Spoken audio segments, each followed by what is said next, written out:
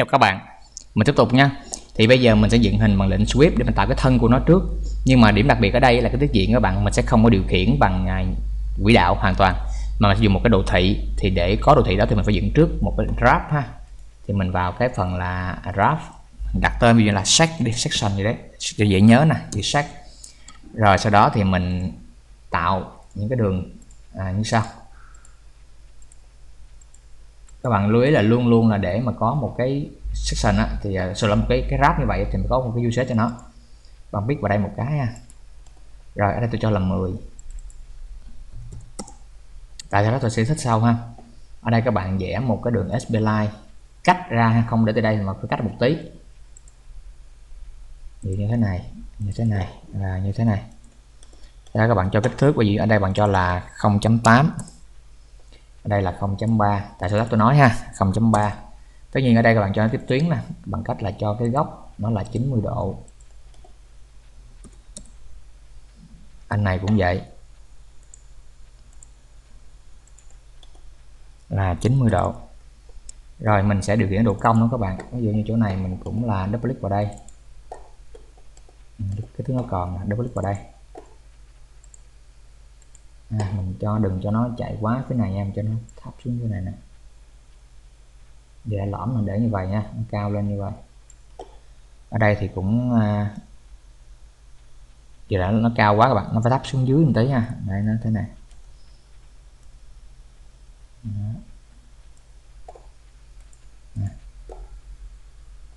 Ừ, thấy nó hơi xấu xấu à thì mình double mình kiểm tra lại một tí nè.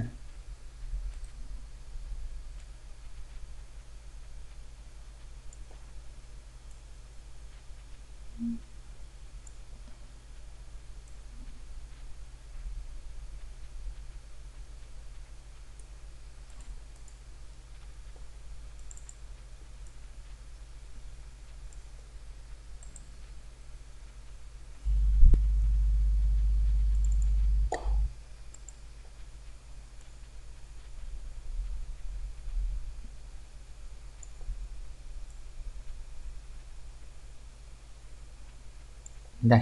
À, bạn thấy cái này được rồi ha. Thì mình đồng ý.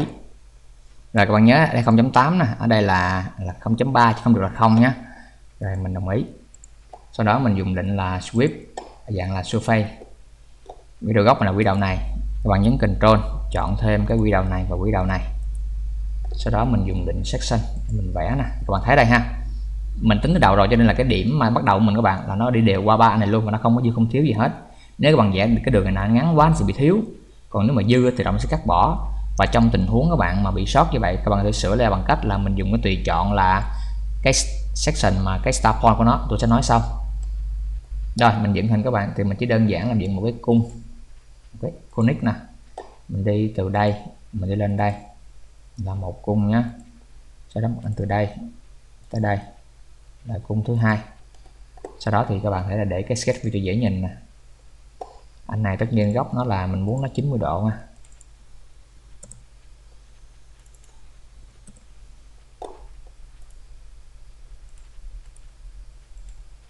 Anh này cũng là 90 tất nhiên tiếp tuyến anh kia 90 rồi các bạn. Kiểm tra cái phải không nha. Anh này với anh này.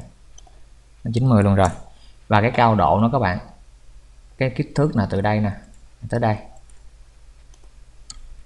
Như vậy.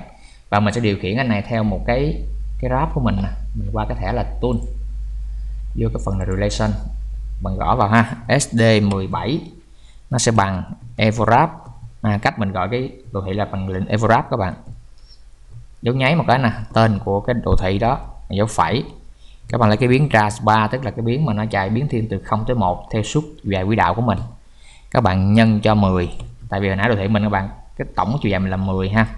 Sau đó các bạn nhân cho 15 nhân 15 à, tức là cái thứ này các bạn trace 3 đó thì biến thiên từ 0 tới 1 trên trăm này các bạn nó sẽ biến thiên là từ 0 tới 10 ha, à, là đồ thị này. Và cái chiều cao của nó các bạn các bạn nhớ hồi nãy nha tại sao mình không cho nó bằng không được? Tại vì cái cao độ này các bạn nó không bắt đầu từ đây được mà ít nhất nó phải là bao nhiêu? Một cái đoạn nhỏ nhỏ thế này nó phải khác không? Thì mình lấy 0.3 mình nhân cho 15 nó sẽ là 4.5 tức là ở đầu quỹ đạo á, nó sẽ cao là 4.5 và ở cuối quỹ đạo nó sẽ cao là 0.8 nhân với 15 nó khoảng được 12 các bạn đồng ý. Mình verify nè ok. Sau đó mình đồng ý ha. Rồi mình có thể là nhấn Ctrl D mình kiểm tra lại nè. Như vậy là mình đồng ý rồi, thì bạn thấy đây. Nếu anh này có thấy là nó hơi à, như vậy nha thì các bạn điều chỉnh được bằng cách là có thể là giả sử tôi cho cái cái độ cong này nè. Đưa nó vào hình elip. À, thì tôi cho ví dụ như là 0.45 thấp xuống một tí. Còn nếu các bạn muốn cao bạn cho số cao lên nha đây nó như vậy các bạn đồng ý luôn. Bạn thì kiểm tra được ha bằng cách là dùng mình để vào phần top nè.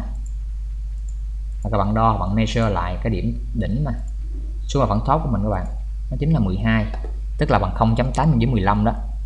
Và ở đây nó sẽ bằng là 4.5 tức là 0. À, 0.3 nhân với lại 15 là 4.5 và cái hình nó giảm nó sẽ biến đều đều đều như thế này và cái độ cong như thế nào đó là do cái độ quyết định. Nếu bạn muốn nó lõm ở giữa này xuống thì bạn hãy để cái độ lõm này nó thấp xuống nữa thì nó sẽ lõm sâu xuống các bạn. Đấy là cách mình dùng một cái đồ thị để mình điều khiển cái, cái tiết diện của mình ha. Cái dùng lệnh sweep này. Tiếp theo ở đây thì các bạn phải kéo nó dài ra để mình ghép nó lại. Thì chỗ này các bạn có thể là chọn ảnh nè. Các bạn extend. Bạn nhấn shift các bạn thêm này cho đủ ha. Rồi mình kéo nó dài tới đâu? Miễn là nó dài qua được phần này của mình thôi các bạn hãy kéo dài dài. Ví dụ như là thế này khoảng chừng à, ba ly thôi ha. Nhìn từ trên xuống. Nó dài quá mà là ok rồi thì mình đồng ý. Tiếp theo mình cũng sweep ở chỗ này các bạn. Thì à, uh, sweep tất nhiên là ở dạng là surface các bạn pick cái anh này ha. Sau đó mình vẽ tiết diện cho nó. Ở đây thì mình vẽ một cái cung. Điểm ở đây một điểm cao như vậy. Các bạn nhớ lại là hồi cho nó trình nằm trên đường tâm luôn ha các bạn nhớ lại hồi nãy cái anh này cao là 15 cho nên dình chứ đừng trong cái cao độ nó quá 15 là ok rồi. Vô từ đây tới đây. À, tôi cho nó là 18 luôn. Thì anh này ví dụ như R tôi cho là 30 đi ha. Anh này vừa cho là 18 đấy thì mình à, đồng ý. Thì nó quét qua. Sau đó thì mình chỉ việc mình ghép anh lại nhau thôi các bạn. Mình chọn quiz nè. Anh này với anh này mình mệt nó lại là à, ok. Đây là mình có một anh đầu tiên như vậy. Sau đó thì mình thấy là mình đi bo tròn luôn ha. Mình rau chỗ này. Cho là hai ly. Thì các bạn nhìn thấy như vậy nó cũng là tôi nói đẹp mà các bạn. Nhưng chỗ này nó hơi bị gãy một tí ha hơi nhọn nhọn là chỗ này nè. Thì các bạn có thể là để luôn cũng được. Hoặc các bạn muốn sửa thì các bạn làm như sau. Các bạn sẽ cắt nó bỏ nó đi. Và sau đó mình vá một cái miếng body vào nữa. Mình nói là extrude dạng surface ha cho mặt này các bạn sketch view. Thì để mà cắt thì các bạn không cần chính xác quá về kích thước của nó, mà chỉ để tương đối tôi dự tôi muốn tôi cắt từ khoảng từ đây nè, tới khoảng trên đây nha. Cắt qua cái phần nó nhọn nhọn như rất khúc này được rồi. Còn để với cung như vậy. Giảm có đường thẳng. Mình tới đây. Qua đây. Mình thế này. Các bạn cắt đi cái phần đó thôi. Kích thước không quan trọng lắm. Các bạn thấy là ok luôn cũng được rồi sau đó các bạn dùng cái năng là remove material nè remove trên cái mặt này. Thì nó cắt được phần như vậy. Bạn đồng ý. Rồi bây giờ cái đường curve này giả sử mình thấy nó không xài nữa nè thì mình thấy ẩn nó đi.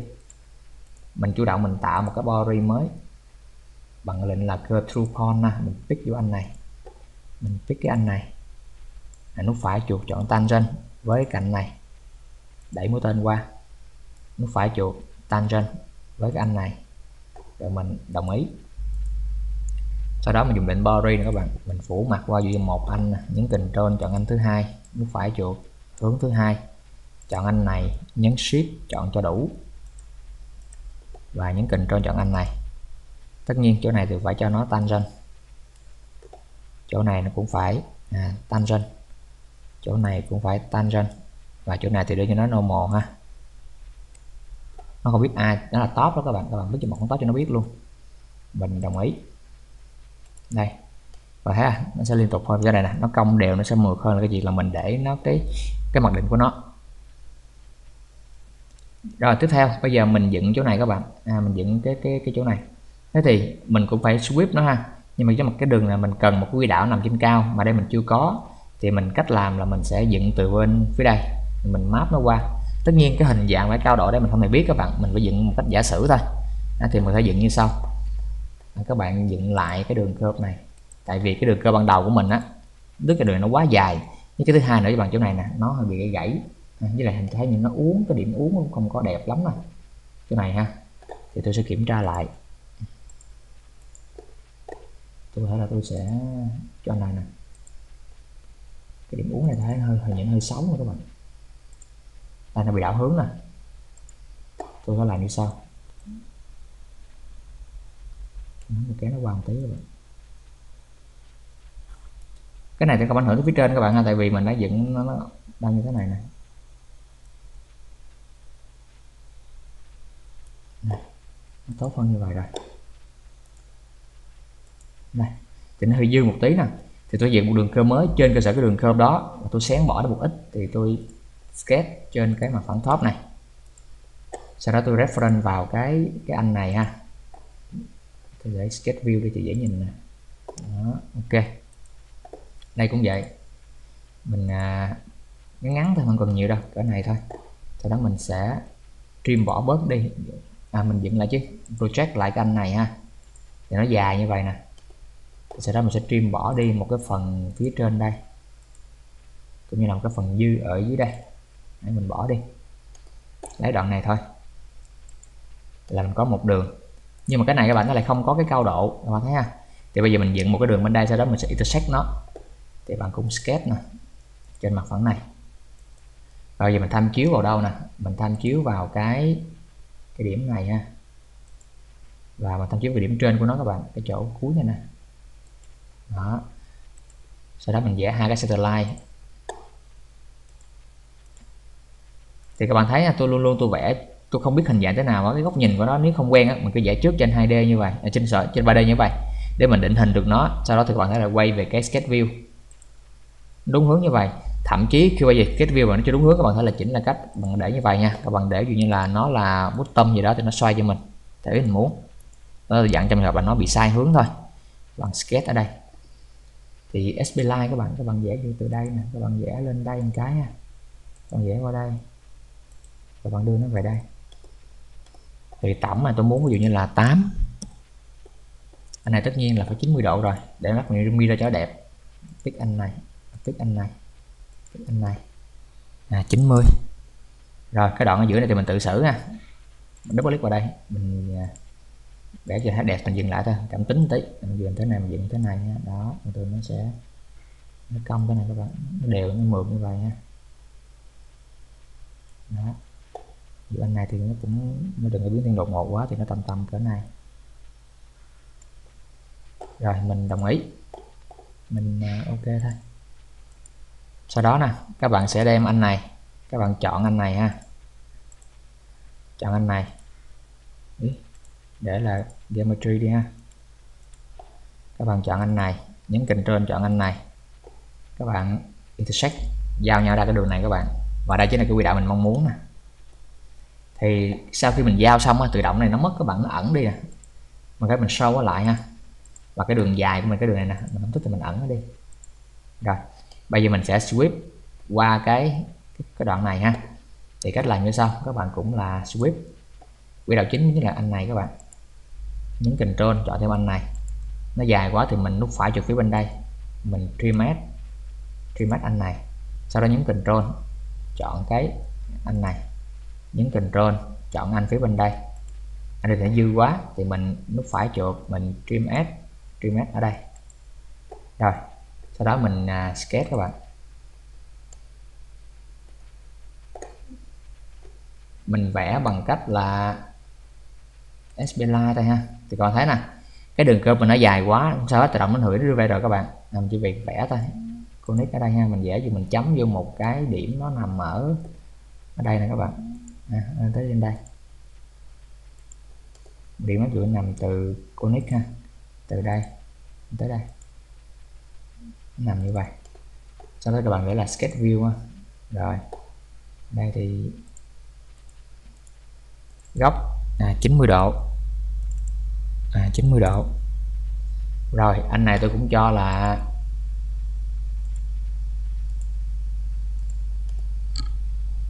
chín mươi độ. Ừ, 90 độ. Rồi mình đồng ý. À, nó chuyển sang surface tại vì mình không có kính các bạn. Như vậy. Có thể nó không tạo ra được nè. Lý do là vì sao? Chỗ này các bạn đầu nó chụm lại rồi. Thì các bạn nhớ cái mẹ mình làm là gì? Mình sẽ cho cái thiết diện mình á quy đạo mình á nó ngắn nó một tí thôi. Thì mình chuyển qua cái quy đạo mình là số số 3 số 2 đúng không nè? Chỗ này là các bạn cho nó đi. Ví như âm về 2 ly đi. Thì nó ok cho mình. Và các bạn thấy có nhiều lúc các bạn chọn quy đạo như vậy nó sẽ không cho bạn vẽ thì cái đó các bạn phải chủ động ha. Các bạn chọn quy đạo rồi bạn đến nút sketch này, nó cho vẽ. Thì khi đó các bạn phải chủ động là cho nó âm về trước. Hoặc nếu như các bạn thấy là vẽ quy đạo mình á nó không đúng ở vị trí này các bạn thể là qua cái thẻ là option. Các bạn chọn lại cái sketch element ha cái origin của nó nếu cần thiết các bạn hãy chọn lại được cái cái, cái chỗ bắt đầu mình vẽ sketch của mình. À, trong trường hợp là mình bị lỗi thì có là hai cách khắc phục của mình. Mình đồng ý thì mình thấy có hình như vậy rồi tất nhiên ở đây thì các bạn làm nhanh, các bạn thấy là ờ, phủ cái mặt qua đây. Nhưng mà như tôi nói đó, là mình hạn chế phủ mặt qua những chỗ mà có ba cạnh. Thì mình nên là mình cắt bỏ toàn bộ, rồi mình áp cái mặt mới có bốn cạnh vào. Những cách làm như sau. Các bạn cũng là extrude nè, dạng surface. Các bạn vào cái phần là top. Các bạn vẽ một cái đường curve. Ví dụ như tôi vẽ một cái cung thôi. Đây, tôi vẽ một cái cung ví từ đây nè tôi vẽ trên đây. Xong từ đây. Qua đây. Tôi vẽ thế này. Là từ đây. Kích thước không quan trọng các bạn biết nó, nó to được là để mình mình cắt ra thôi. Thế này. Mình làm mấy thử nha. Rồi. Mình cũng à, đẩy nó lên trên thôi. Mình remove material nè. Remove anh này. Chắc thể là true cũng được. Lên thế này đó, ok. Sau đó mình sẽ phủ mặt qua nó các bạn. Các bạn phủ mặt bằng cách là mình boundary nè. Mình chọn anh này nha, nhấn shift cho đủ nè. Nhấn control, chọn cái anh này. Nó dư quá, các bạn có thể là không bỏ, không sao cả. Các bạn sẽ canh hướng chọn anh này. Và control chọn anh này. Tất nhiên tiếp tuyến ha, các bạn chọn là tangent. Ở đây là tangent. Ở đây các bạn cũng tangent nha ở này tự nhiên nó là normal rồi. Rồi nó hiểu rồi thì mừng quá. Ok luôn. Đây các bạn thấy mặt cũng liên tục nè. Rồi như nó liên tục luôn. Và các bạn thể check lại bằng cách chức năng là mình qua cái phần là analysis. Các bạn chọn chức năng là application này nha. Thì làm rồi tôi không nhắc lại nữa. Tiếp theo thì bây giờ mình còn cái phần này nữa các bạn. À, cái phần này nữa thì mình bật lại cái hình của nó. Các bạn qua có thể view model display. Các bạn image các bạn hay là show nó lên bằng cách bỏ chức năng hai đi thì nó hiện lên như vậy sau đó thì mình sẽ revolve các bạn. Surface mặt phẳng top nè. Sketch view. Rồi mình uh, pick cái đường tròn qua 3 điểm mà. Đây cái đường tròn đi pick qua 3 điểm. Pick anh này. À, anh này. Ví dụ như vào cái anh này. Đây nó rộng hơn cái hình của mình ha tất nhiên thì mình chỉ lấy một nửa đường tròn thôi thì mình phải dùng chức năng satellite để mình lấy một nửa như anh này. À, tôi bỏ bớt đi cái anh phía bên đây đi. Thì tôi đồng ý. Và tôi chuyển nó về là khoảng 180 độ các bạn. Nó như thế này. Thấy à rồi mình cần xong hoàn thành cái hình cơ bản các bạn. Ở đây thì còn một cái mỏ chim ở đây nữa. Thì à, cách làm cũng đơn giản thôi. Các bạn có thể là dùng lệnh sketch mình vẽ một cái mặt trên mặt phẳng top một cái đường curve rồi dùng lệnh sweep plan SP line nha dụ như bằng vẽ đây đường nó bằng vẽ tới đây đi. Xong. Double cho đây. Chỉnh dây cung của nó. Bằng nó bằng kéo cho nó cong tiền tí thôi nha.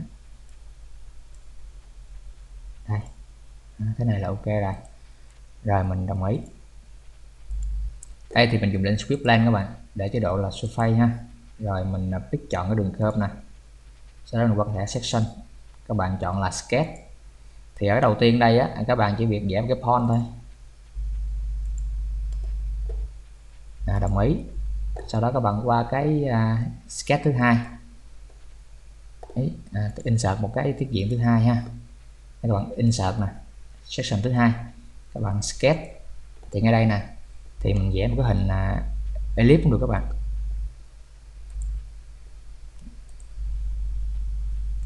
Trục thật ở đây trục ảo ở đây. Này tôi cho ví dụ như là 9 đi. Anh này cho khoảng 8 thôi. Nè mình đồng ý. Thì mà thấy ha nó cái đầu nó nhọn như vậy. Thì các bạn có thể là qua cái thẻ tangency này mình để nó là smooth. À, thì nó tròn như vậy. Nhưng mà thấy nè mình vẽ như vậy là mình vẽ luôn cả hai rồi thì tạm thời là mình khoan ha. Mình à, đưa lên chơi như vậy nè để mình ghép mình ghép anh này lại sau đó mình mirror. Thì mình mệt một lần chung luôn nó sẽ tiện hơn. Tại vì làm có giải một cả, cả một cái tiết diện chính chứ không có giải một nửa nữa. Thì các bạn xử lý nhanh bằng cách là mình qua đây mình ẩn nó đi ha cho dễ nhìn nè. Sau đó mình để chế độ là quiz và mình ghép lại nha.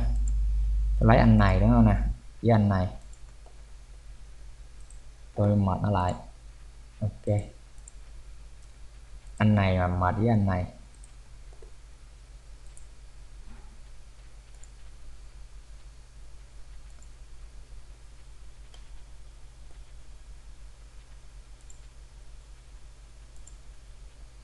à, đồng ý tiếp theo nguyên cái anh này à, với cái anh này.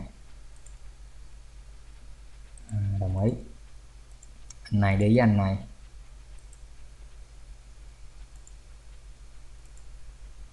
À, đồng ý. Sau đó thì mình bo tròn các bạn ha. À, mình rao ví dụ như chỗ này là hai ly. Mình rao chỗ này như là hai ly. Đồng ý rồi xong rồi thì bây giờ anh này mình phải là mình mirror toàn bộ nó qua cái anh này. À, xin lỗi mình để như vậy ha mình chọn anh này nè. Rồi mình mirror qua mặt phẳng top của mình. Mình đồng ý. Sau đó mình mới là mình vẽ hình này các bạn. Vẽ anh này vào sau đó mình chỉ là ghép anh này với anh này với nhau thôi.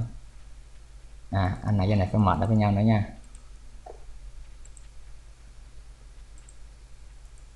Sau đây mặt này với anh này mình mệt lại. Mình lấy cái phần ở ngoài đây. Sau cùng thì mình cho nó cái đai nhỏ này nữa các bạn. Cùng một ly thôi. Rồi, mình hoàn thành các bạn ha. Thì các bạn để để cho nó trở nên đẹp nè. Đây. Ẩn đi những đường curve của mình.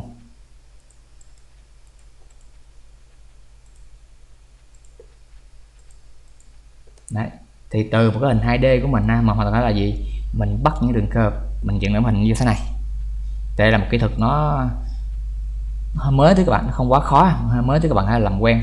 Và như tôi nói đó, quan trọng nhất vẫn là cái việc các bạn điều khiển được cái đường SPLine của mình để mình có được mô hình đẹp như mình mong muốn. Rồi cảm ơn các bạn.